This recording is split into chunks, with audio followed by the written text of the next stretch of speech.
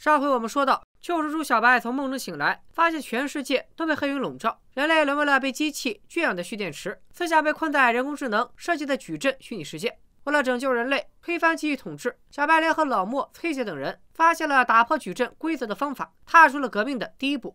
黑客帝国重装上阵的故事发生在第一部结束大概六个月以后。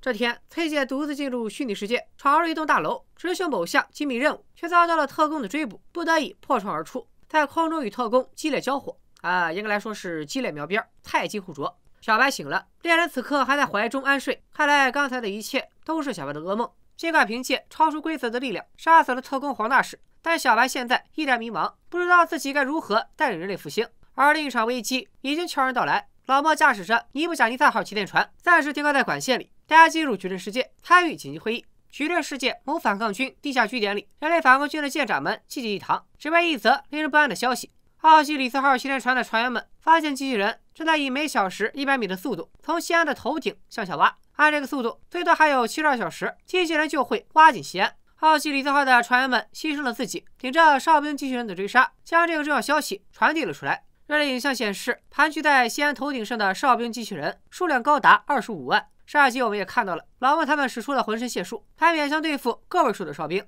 以西安现在的战斗力，根本不可能抵抗二十五万。有些心怀侥幸的船员质疑二十五万这个数字有点虚高了，可老莫却认为很合理。现在西安城里有二十五万人类，哨兵和人类的数量一一对应，非常符合计算机的算法。看看人家这个逻辑思维，要不怎么老莫能找到救世主？你们就只能搁这儿听他打屁呢？然而不是所有人都相信老莫那套救世主的传说。舰长们分为两派，以上子号舰长黑珍珠为首的保守派不为所动，准备听从西安指挥官洛克的指令，率队回访西安。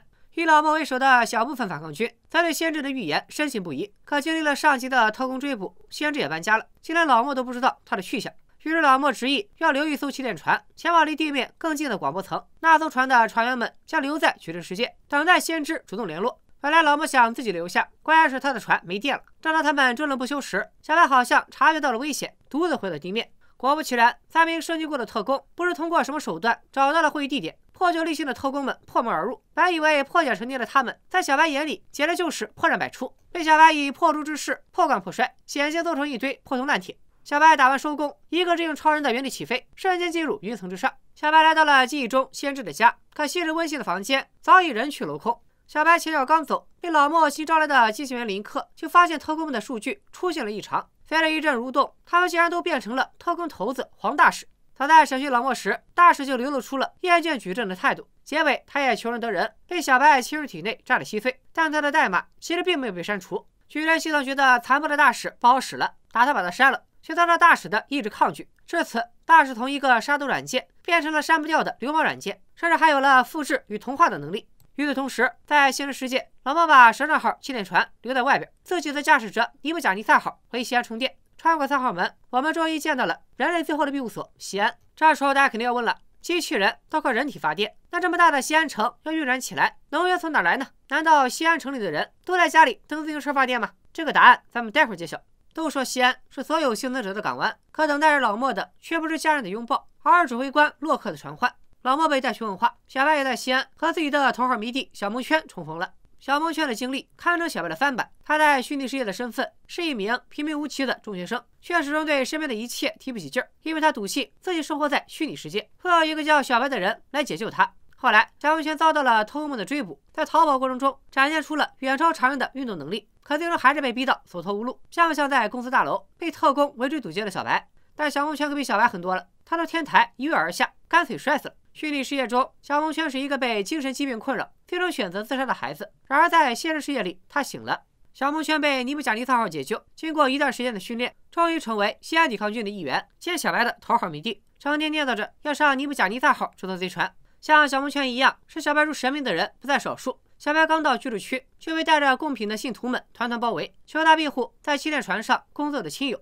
没办法，在哨兵和特工的内外夹击下，船员阵亡率实在太高了，他们的亲人。不得不将希望寄托在虚无缥缈的神灵身上，所以接线员林克一回到家就遭到了妻子的冷暴力。还记得第一部里被光头强偷袭，最终一死一伤的熊大和熊二吗？林克的妻子就是他们的妹妹。哥哥们的遭遇让他非常反对丈夫去尼布贾尼撒号上工作。奈何林克跟着小白他们见识了太多的奇迹，如今就像着了魔，变得和老莫一样笃信救世主。另一边，老莫见到了洛克，但是仇人见面分外眼红。老莫以前和圣子号舰长黑珍珠是一对儿，这个看肤色也能看出来。后来老莫沉迷先知预言，黑珍珠就离开了他，和洛克好上了。这就好比你的女朋友甩了你，跟你们学校的学生会主席，或者说跟你们单位的领导好上了。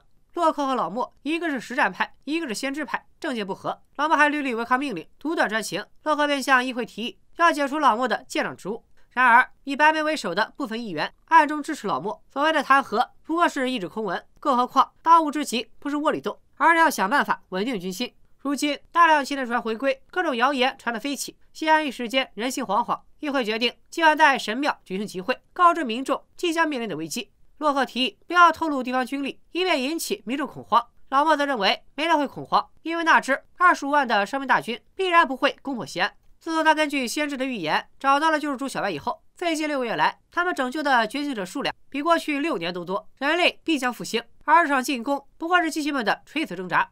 在当晚的集会上，白眉还特意让老莫上台做最后的开场词，大致内容如下：民众深受鼓舞，先是敲锣打鼓，又是贴身热舞，最后甚至演变成了一场几十万人的没羞没臊。这或许是表达一种动物性的释放，也可能是在向机器示威。总之，这一大群人疯狂的下了一晚上象棋。小白和崔姐也见缝插针，来了一场灵与肉的碰撞。可就在小白在到达巅峰之际，再次看到了崔姐的死亡画面，这可把小白吓得够呛。殊不知，这份预感正在以某种形式应验着。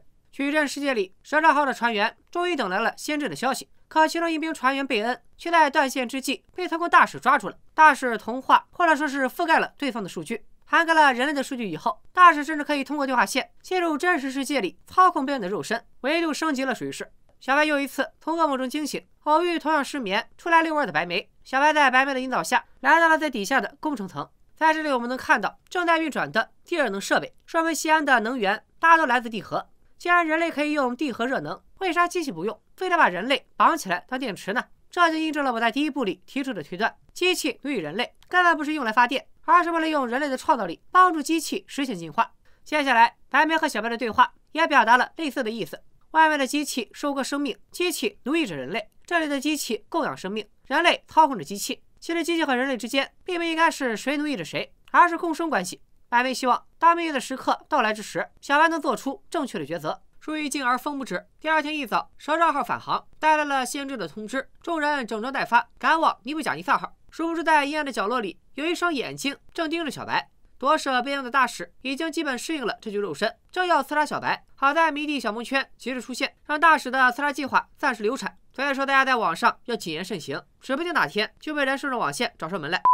小蒙圈交给小白一个勺子，说是因为孤儿让他转交的。想必大家都猜到孤儿的身份了，就是第一部先知家里教小白掰勺子的小光头。此处又和第一部呼应上了。当初小光头用勺子告诉小白世上本无勺的道理，而现在有一把实实在在的勺子就被他握在手里，时刻提醒着小白西安是真实存在的。第一部里的勺子光可见人，象征着看似光鲜，其实虚假的矩阵世界；而现在这把坑坑洼洼的勺子，则象征着破败的现实。白眉无视了洛克的命令，擅自放走了尼布贾尼撒号。洛克知道以后勃然大怒。根据官方给出的数据，此时的西安舰队一共就只有十二艘气垫船，所以每一艘都弥足珍贵。之前为了传达西安将被攻击的消息，奥西里斯号已经被毁。回防的气垫船里还有一些隶属于享乐派，他们和第一部里的光头强一样，整天惦记着回归矩阵。真要是打起来，别说是出工不出力，都得提防着他们背后捅刀。所以站在指挥官的角度，洛克必然不能再放尼布贾尼撒号离开。然而实行议会制的西安军事指挥官根本做不了主。随着尼布贾尼撒号进入广播层，小白也不好上网，来到了和先知约定的地点。可等待着他的不是先知，而是常威。在第一部结尾，小白觉醒了数据视角，在他眼中，矩阵世界的一切都是绿色代码流，而常威的代码居然是金色，说明了什么？说明常威他打疫苗了。常威就相当于一面防火墙，想见先知就得先过他这一关，高手切磋，点到为止。主要是常威天生神力，再打下去，怕把小白打到自闭。小白跟随常威进入无尽走廊，而在林克他们眼里，小白的数据凭空消失了。打个不恰当的比方，无尽走廊就相当于矩阵的后门，或者说是程序员入口。代码藏在门锁里，在这打开一把锁，别处就会打开一扇门。四舍五入就是地面版的任意门，而启动门上代码的钥匙就掌握在常威手里。小白穿过一扇门，来到了夹在居民楼间的小操场。在小白看来，先知和常威一样，都不是人类，而是矩阵里的一个程序，所以也说不准他到底会帮哪边。先知却不以为意，表示说不说在我，听不听在你。说完还掏出一颗红色的糖，问小白吃不吃。大家注意，从这一刻开始，先知又要讲谜语了。小白疑惑道：“既然你是先知，那肯定就知道我会不会吃这个糖，又何必多此一问呢？而我又存在选择的余地吗？”先知听完微微一笑，对小白说：“你不是来做选择的，因为你早已做出了选择。你今天来到这里，是想弄明白自己为啥会做出这样的选择。”先知这套说辞符合决定论的观点。决定论认为，自然界和人类社会普遍存在客观规律和因果关系，人的一切活动都是先前某种原因和几种原因导致的结果。根据先前的条件和经历，你可以预测某人的行为。举个有滋味的例子，你早饭吃了半斤红薯，那你肯定会放一天屁。懂了的可以把放屁打在公屏里。在接下来的故事中，我们还会遇到信奉机械论的架构师，也就是人吃红薯就放屁，人就是放屁机器；还会遇到信仰因果律的法国佬，也就是因为吃了红薯，所以放了一天屁。对于小白而言，放屁的结果已经注定，他是来确定放屁的原因，即为啥自己想不开，大早上咔咔造红薯。先知表示自己站在人类这边，因为只有团结人类，这个世界才有未来。暂时打消了小白的顾虑，先知继续介绍矩阵的设定。矩阵中除了他和常威之外，还有各种各样的程序，他们各司其职，共同维护矩阵的运行。但软件用久了，难免出岔子。小白在虚拟世界听说过的狼人、吸血鬼这些神秘生物，还有类似闹鬼的灵异现象，都是程序出错造成的异象。黑客帝国动画版里就有一个短片《超越极限》，专门讲了一间时空扭曲的鬼屋。系统会定期升级，或者删除崩坏的程序。大家不想被抹除的程序，要么躲在矩阵的犄角旮旯里，要么乖乖回归汲取源头。源头就是小白救世主之旅的终点。小白也确实在梦里见过一道发光的大门，又联想起崔姐的死亡画面，心里的不安更加强烈。先知见状，意识到了小白觉醒了预知能力，便说出了一个模糊的真相：小白之所以看不到崔姐最后到底死没死，是因为他永远都看不透、无法理解的选择。总之，小白想结束救世主之旅，就得去矩阵源头，而要去源头，就得找到一个名叫开锁匠的老程序。如今，开锁匠被另一个叫法国佬的程序囚禁在密室里。我捋捋啊，先知、常威、开锁匠、法国佬，他们都不是人类，而是矩阵中的程序。那小白如此牛掰，他到底是人类还是程序呢？咱们接着往下看。先知说完谜语，就在常威的护送下离开。他们前脚刚走，后脚大使就脚踏乌鸦华丽登场。他先向小白表达了感谢，感谢他将自己从矩阵的束缚中解放出来，然后就要干掉小白。可以理解为每个程序都因目的而具有存在的意义。大使的目的依然是杀死小白，所以初衷和小白过不去。要是把格局打开，大使的行为就可以被理解为导演沃罗斯基夹带了私货，通过大使袭击帮他觉醒的小白，反映人心中的反抗父权弑父情节。总之，几十个大使凭空出现，本体趁机一把插进了小白的胸膛。大使见状，招呼十几个分身一拥而上，却被小白单方面殴打。打斗立刻引起了其他特工的注意，他们通过附身 NPC 降临，却在下一个瞬间被大使同化。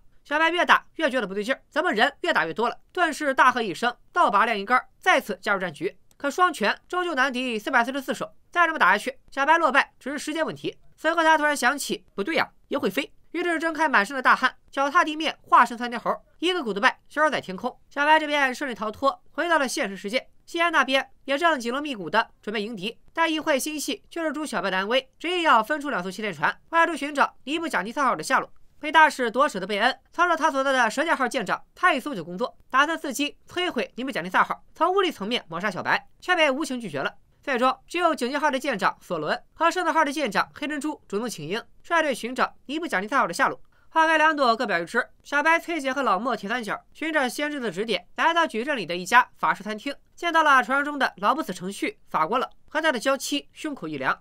在小白他们到来前，好像有人刚和两口子会过面。至于这个人是谁，咱们暂且按下不表，第三步再揭晓。也麻烦大家把目光从胸口一良的身上收回来，先看法国佬。正如前文所说，法国佬信奉因果论，有因就有果。老莫口中所谓的选择，也就是人的主观意志，不过是当权者给无权者创造的幻象。比如说，视频看到这儿，你突然想起还没给我一键三连，这时你似乎存在选择的余地，要么一键三连，要么下次一定。你最终选择了下次一定。你以为你在做选择，其实因果律早就注定了你会白嫖，而建立在假设基础上的一键三连根本就不会发生。我话都说到这份上了，你们到底点不点啊？法国佬为了证明在因果面前一切挣扎都是徒劳，竟然当着众人的面对一位宾客下药。显微家都看出来了，法国佬压根就没打算交出开锁匠，还仗着这是他的主场，让小白回去告诉先知他的大限将至，赶紧准备后事。说完就将三人送进电梯。小白纳闷了，怎么和先知预言的不一样呢？老莫却让他稍安勿躁，既然他们仨还活着，就说明事情还有转机。果不其然，电梯中途停下，法国佬的老婆胸口一凉，找到了他们。表示他已经受够了法国佬的满嘴谎言。胸口一凉承诺，只要小白献上真爱之吻，让他回忆起爱的味道，他就帮他们找到开锁匠。为了全人类的福祉，为了远大理想，为了汹汹涌的机器大军迫在眉睫，小白只好出卖色相，从了。至于为啥胸口一凉要亲小白，肯定不是出于夫妻俩特殊的小癖好。《黑客帝国二》上映以后，官方推出了一款游戏《进入矩阵》，玩家可以操控黑人猪等角色，以他们的主视角参与冒险。我们可以看到，胸口一凉和来访的好几个人类都接了吻。胸口一凉和她老公一样，都不是人类，而是程序，说明她的真实目的并不是通过小白回忆过去，而是在进化。她试图分析人类的情感。到了第三步，还会出现一个严格来说是一家子真正完成蜕变、产生人类感情的程序。具体是啥，咱们到时候再说。总之，得偿所愿的胸口一凉带着小白三人来到了法国佬的豪宅，还帮忙解决了一名吸血鬼守卫，顺利救出了被囚禁的开锁匠。虽然正要离开，却和闻讯赶到的法国佬迎面相遇，绿得发光的法国佬气急败坏。说都不会话了，法国佬派出了手下干将双子幽灵捉拿开锁匠。小白见状，让老莫和崔姐保护开锁匠先溜，自己则独自留下搞定法国佬的程序手下们。双方从徒手肉搏到短兵相接，打得不可开交。经过一番苦战，小白以手掌擦破了点皮为代价，终于摆平了打手们。法国佬见大事不妙，通过后门程序逃之夭夭。另一边，崔姐和老莫就惨了，双子幽灵不同于他们遭遇过的其他敌人，一旦进入灵体状态，不光免疫物理伤害，还能瞬间修复损伤。而唯一能对付他们的人形 bug 小白，被法国佬传送到了五百公里外的深山。一时间，老莫和崔姐险象环生，只好带着开锁匠开车逃跑。可他们距离最近的传送点还远得很，只好把车开上了高架。双子幽灵在后面紧追不舍，螳螂捕蝉，黄雀在后。激烈的交火吸引了特工的注意，他们的首要目标也是流亡程序开锁匠。三方势力入局，一时间高速路上乱成一锅粥。断后专业户老莫让崔姐带着开锁匠先走，他自己留下摆平双子幽灵。双子幽灵惨遭兵拒杀，但崔姐还未甩脱特工的追捕。湍急的车流中，前一秒还人畜无害的 NPC，下一秒就有可能被特工附体。崔姐只好掉头，将开锁匠交给赶来的老莫。经过这段时间的训练，老莫竟然能和强化过的特工打得有来有往，甚至依靠从法国佬顺来的武器，暂时占据上风。与此同时，黑山猪的援军也赶到现场，可人类在特工面前，终究还是不够看。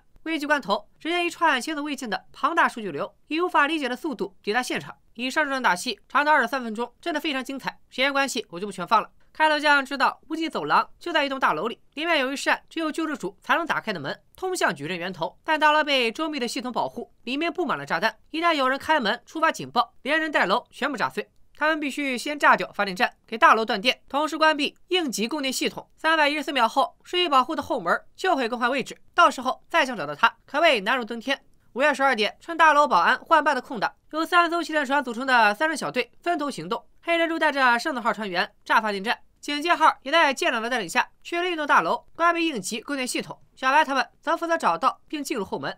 联想到预知崔姐死亡的梦境，小白极力要求崔姐退出任务，所以掌门的只有他和老莫。结果如小白所料，意外果然发生了。黑珍珠顺利炸掉发电站，但警戒号却遭到了哨兵攻击。留守的两名接线员因为一场离奇的意外双双阵亡。毫无防备的警戒号被炸成了一团火球。矩阵里的船员们就这么稀里糊涂的领了便当。本该漆黑一片的大楼，在应急系统的帮助下，瞬间恢复了供电。可小白他们已经进入了无线走廊，收不到外界的消息，完全不知道危险正在悄然逼近。面对如此险境，说好不参与行动的崔姐，为了心爱的人铤而走险，和小白的梦里一样，孤身杀进了应急电源所在的大楼。崔姐闯入主控室，终于在后门转移还剩一分钟的时候，黑进了控制系统，切断了无线走廊所在大楼的电源。另一边，一个意想不到的敌人拦在了小白的必经之路上，不是别人，正是大使。大师显然是有备而来，直接从巫师道门里走出了不计其数的大使分身。老莫一时不慎，都差点被他同化。好在走廊十分狭窄，有过打群架经验的小伙伴应该都知道，在这种狭长的环境里打架，你在同一时间面对的对手只有眼前的两三个，后面的都只能看热闹。所以小白暂时也不会输，但他们耗不起啊！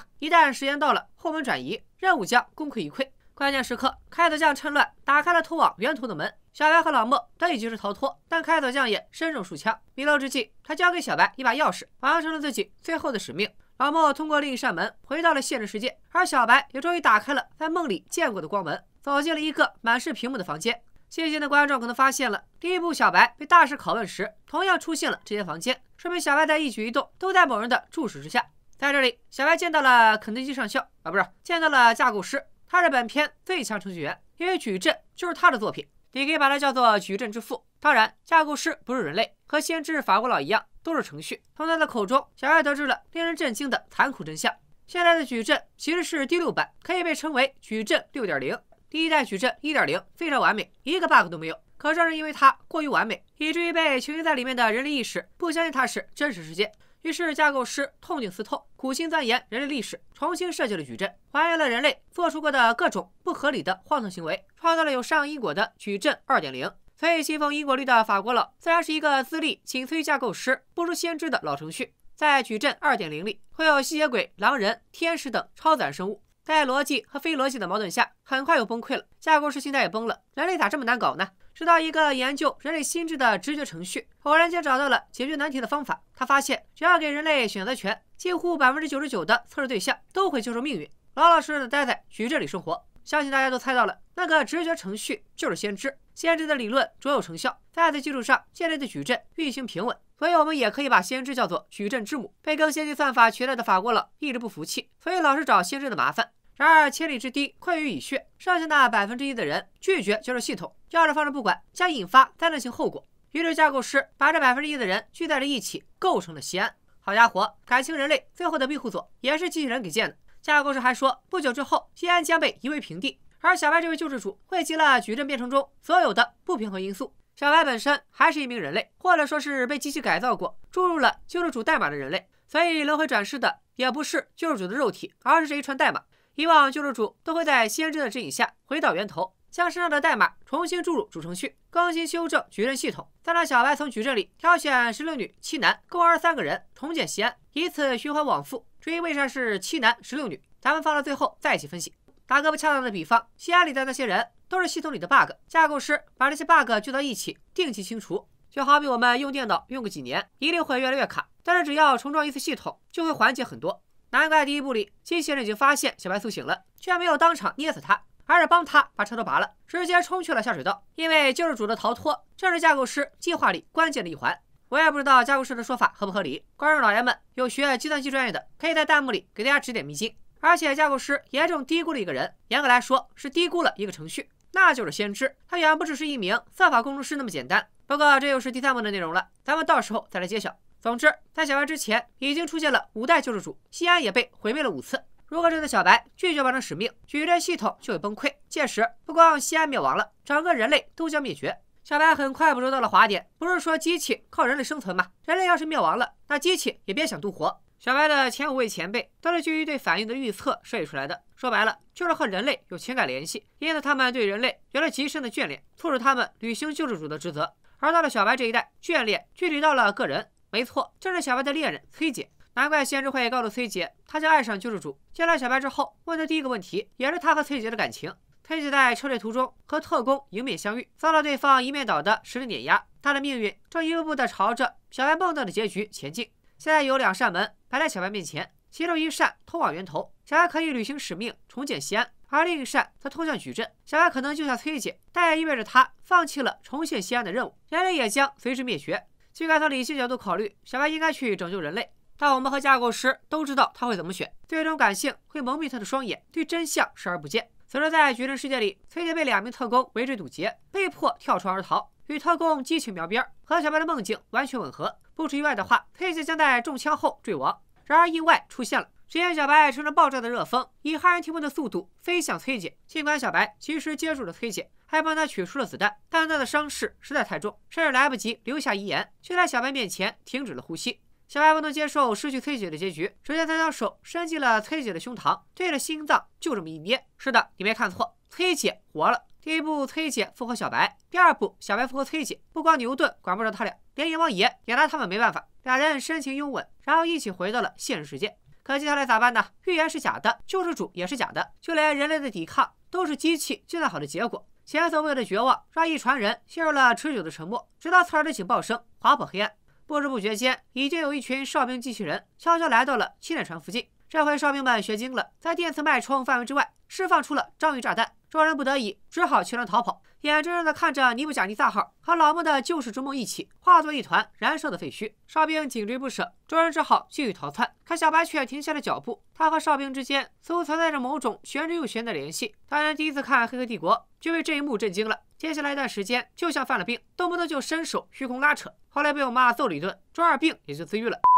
众人带着昏迷的小白，被随后赶到的雷神之锤号救走。也从舰长罗兰口中得知了一个坏消息：就在黑珍珠他们出发寻找老猫后不久，洛克又派出了五艘气垫船，打算切断管线，打哨兵大军一个措手不及。然而意外发生了，原来地线开启电磁脉冲，包括十二号在内的五艘气垫船当场报废，被铺天盖地的哨兵撕碎。经过一番搜救，雷神之锤号只找到了一名幸存者，居然就是被大使夺舍的贝恩。总的来说，《黑客帝国二》重装上阵，情节其实并不完整，主要起到一个承上启下的作用，丰富了《黑客帝国》系列的世界观，同时铺垫西安与机器的终极之战。相比第一部，《黑客二》有了一个明显的变化，随着打戏和追车戏等商业元素大大增加了。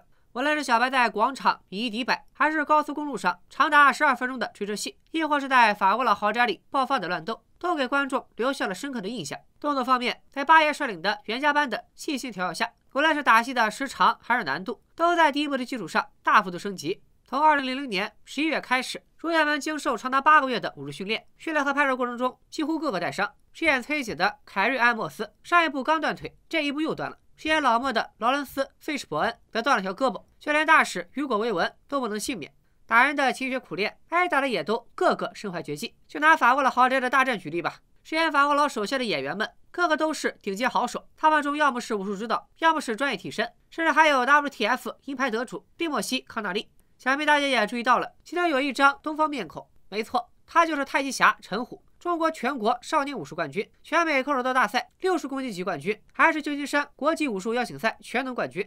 当时他还在袁家班当武师，被八爷委以重任，担任《黑客帝国》三部曲的武术指导。可惜这位老哥的演艺之路并不顺畅，尽管片源不断，但大多是粗制滥造的网大。除了陈虎之外，另一位中国演员则是我们很熟悉的常威邹兆龙。邹兆龙参与《黑客帝国》和《一波三折》，我在解说第一部的时候提过。导演沃卓斯基姐妹都是李连杰的影迷，常威的角色他们优先考虑了李连杰，却因为杰哥要求和京都李维斯同薪同酬而遗憾作罢。后来导演又找了杨紫琼，不巧杨紫琼档期排不开，最后才找到了邹兆龙。万万没想到，《黑客帝国》三部曲爆红，邹兆龙直到今天都还能收到《黑客帝国》的分红，真正的拍一部戏吃一辈子。如果说黑客一还是踩着牛顿的棺材本冲浪，那黑客二却是把牛顿的棺材本劈了当柴烧。包括陈虎在内的十几名替身和专业武行，一部分在场内被主角殴打，另一部分则负责在镜头外拉动连接演员的威亚，以实现飞檐走壁的打斗效果。即便如此，最后的呈现效果也存在瑕疵。你要是逐帧观察，就会发现一开始被小白拦截掉在地上的子弹，一会儿出现，一会儿又凭空消失，算是相当明显的穿帮了。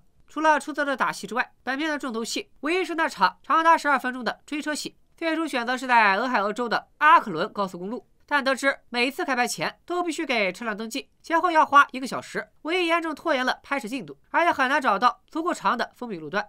沃罗斯基姐妹一合计，干脆在位于加利福尼亚州旧金山湾已经退役的阿拉米达海军航空站，花了三个月的时间建起了一座长达一点四公里的高速公路。当然了，不是真的修路，而是搭建了一点五公里的公路墙壁，做出了高速公路的效果。尽管拍摄完成后，那条高速公路却被拆掉了，其中一部分建筑材料被送往墨西哥建造经济适用房。但你现在在谷歌地图上输入坐标，还能看到这条高速公路遗留的痕迹。黑客二原本的预算是一点五亿，最后肯定远超这个数。且不论建高速有多少钱，光砸在特效上的钱就有一个亿。除了咱们肉眼可见的大场面外，很多我们以为是失败的镜头，其实都是特效。例如追车戏中，除了高速公路之外的所有元素都是后期制作的产物。公园大战有一大部分镜头都是通过动作捕捉，再套上小白和大使的人物建模完成的特效镜头。剩下的资金捉襟见肘，剧组也是能省则省。高速追逐戏里的汽车有三百多辆是通用公司捐的，通用没提收回的事儿，沃罗斯基姐妹也压根儿没打算还。最后大部分都撞成了渣渣。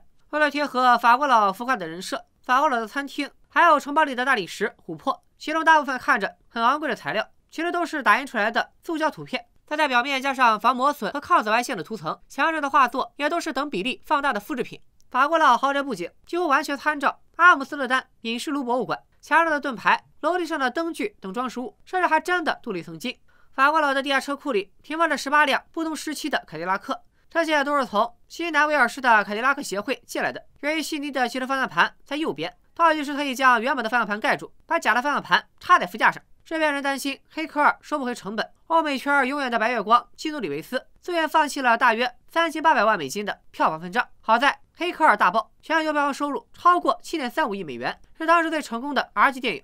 有了好莱坞大片必备的强大外在，《黑客二》还沿袭了前作传统，融入了大量的宗教元素。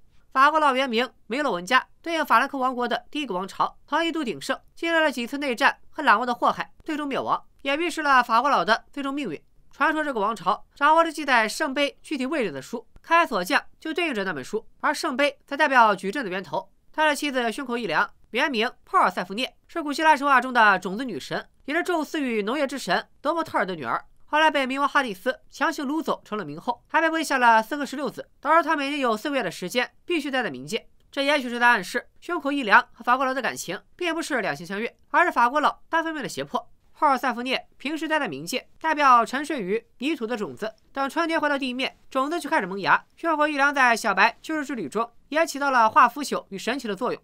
常威在片中叫塞拉福，也就是传说中的六翼天使炽天使，所有天使九阶中的最高位。在伪经之一的以诺书中提到，炽天使是孙膑君主级天使的综合体，总之就是很能打，势力在王座周围。片中的常威正如炽天使，是先知的贴身护卫。黑人猪在片中的原名叫奈奥比，还有一个版本叫尼俄伯，古希腊神话中的女性，仗着自己生了七个英俊的儿子和七个美丽的女儿，天天到勒特女神面前臭显摆，甚至打断了对女神的崇拜，要求信众们崇拜自己。女神一气之下，派出阿波罗和阿尔特弥斯，把奈奥比的孩子全杀了，骨灰都扬了。悲伤的奈奥比被宙斯变成了一座喷泉。至于和片中的黑珍珠有啥关联，我反而是没看出来。观众老爷们，要是有懂行的，不妨在弹幕里告诉我。除了基督教神学之外，《黑科尔》同样出现了不少佛教元素，例如救世主的设定，不断轮回转世拯救人类，像极了佛教中的转世灵童。官方设定中，所有的程序都是从源头诞生的，源源都是一个纯粹的光的实体。程序实现目标后将返回源头。这一设定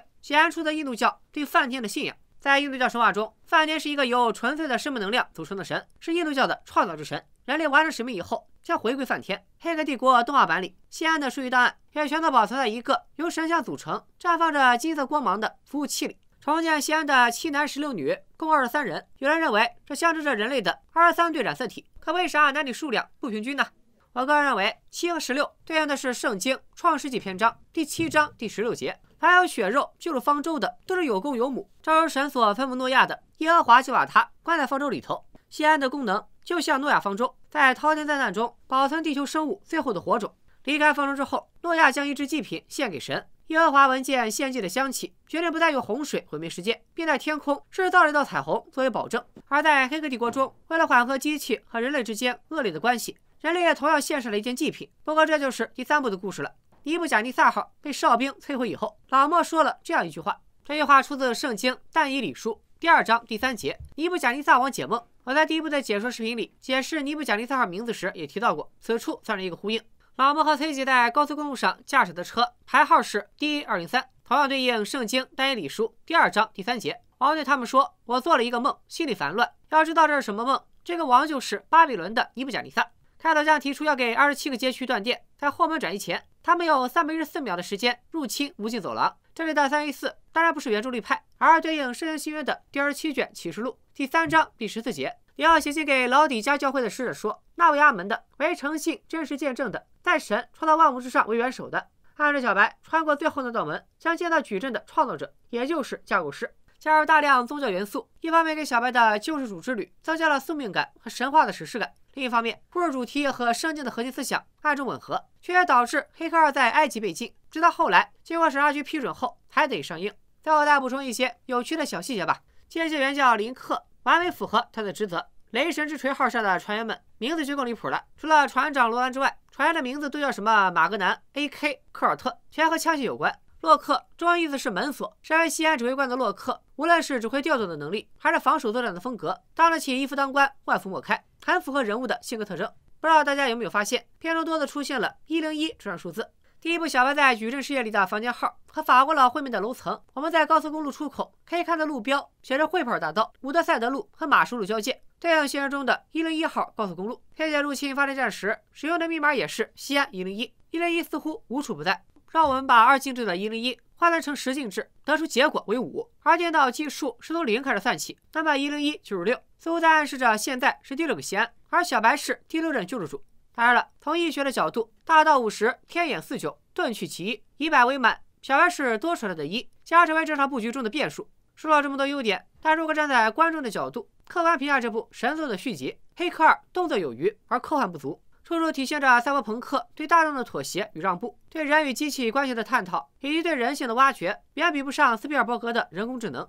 不同于第一部完美符合用心之旅母题的情节架构，《黑客》似乎很少用戏剧行动丰富剧情，而是以决定论的阐述推动情节发展，抛开大量对推动情节没有作用的动作戏。我们会发现，真正引导人物行动的戏份加起来不到二十分钟。小白他们像极了 RPG 游戏的主角团，被层出不穷的任务牵着鼻子走，我都忍不住想在新人头上画个叹号。黑客二情节和设定，即便放在二零零三年，也不算新颖，多少能看出点沙丘的影子。沙丘世界爆发过一场人机大战，最终人工智能被人类全部销毁，黑客帝国里的人类却败给了机器，惨遭机器奴役。在沙丘中，男主保罗属于原著的救世主，降临到弗里曼人，反抗巴迪沙皇帝和哈克宁男爵。黑客帝国里，男主尼奥也是救世主，降临到人类，反抗机器奴役。保罗拥有预知未来的能力，小白也能预知未来。其实不只是《黑客帝国》，后世有很多经典科幻和魔幻作品，像《指环王》啊、《全游》啊，都受到了沙丘的影响。难能可贵的是，《黑客帝国》在沙丘的基础上构建并完善了独特的世界观，并在第三部迎来了最终升华。更多深度内容，我也会放在第三部一起分析。陷入昏迷的小白，意识究竟去了哪里？他为何能在现实世界轻易瘫痪哨兵？难道所谓的现实世界也是虚构的？面对超人般的机器军团，西安的人类能否坚守最后的阵地？潜伏在人群中被大使夺舍了贝恩，又将造成何等严重的破坏？老规矩，本期视频点赞过八万，我就加班加点给大家干出《黑客帝国三：矩阵革命》。咱们不见不散，拜了个拜。